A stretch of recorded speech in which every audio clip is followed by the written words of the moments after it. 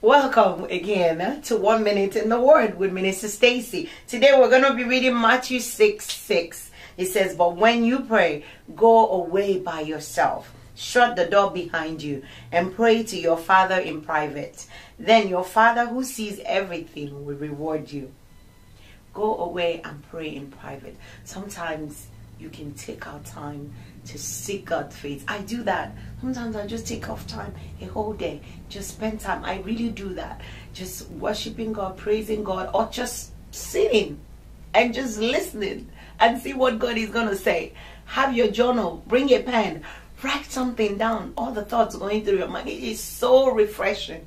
I pray you will do that. I pray for you today that God will give you a quiet time, even if it's once in a week, once in a month, it doesn't matter. I pray that you will just take our time and just listen to God.